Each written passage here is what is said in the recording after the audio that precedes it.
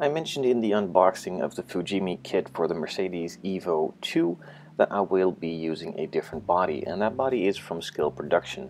They made this up after they saw a rendering for the touring wagon of that Evolution and thought it was really cool so they produced the body and sent me one free of charge to build for you guys.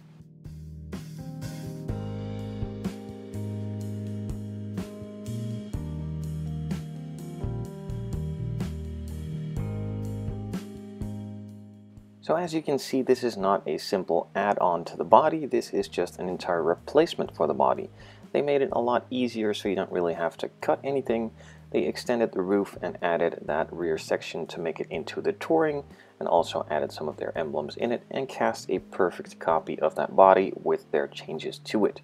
Every single detail that was on the original body was captured and transferred to the molded piece you see here in pure perfection. I could only find one small air bubble and that was on the underside of the hood, so I didn't really have to worry about that anyway.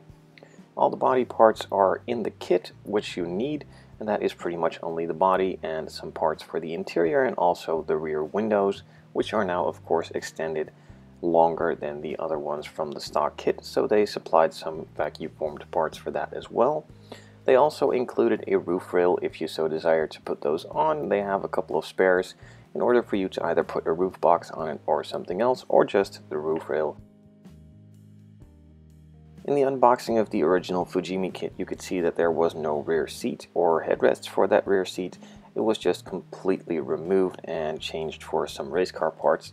Now of course if you're going to build this you're probably going to build it in a stock-ish road car style version to make it into the ultimate street sleeper or the ultimate dad wagon of course. So Scale Production made a rear bench seat with some separate headrests to fully detail that interior out.